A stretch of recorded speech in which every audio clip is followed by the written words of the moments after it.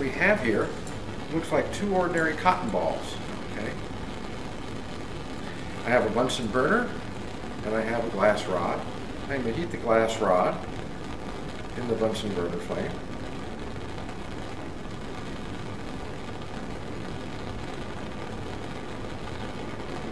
And of course, when you heat a, a, a rod in a Bunsen burner flame, you have a hot rod. Get it good and hot. And we'll touch this cotton ball, and it smolders, but nothing very interesting. Let's get it good and hot again, and touch this apparent cotton ball.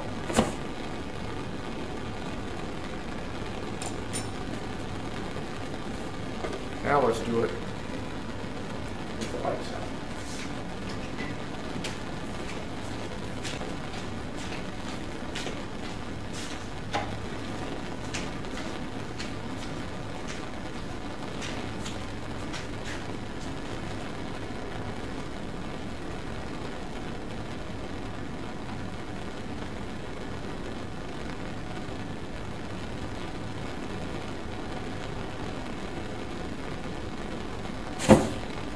This is nitrocellulose.